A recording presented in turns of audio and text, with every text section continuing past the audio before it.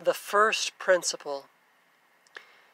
There is an economy in heaven, and here is the first principle of that economy.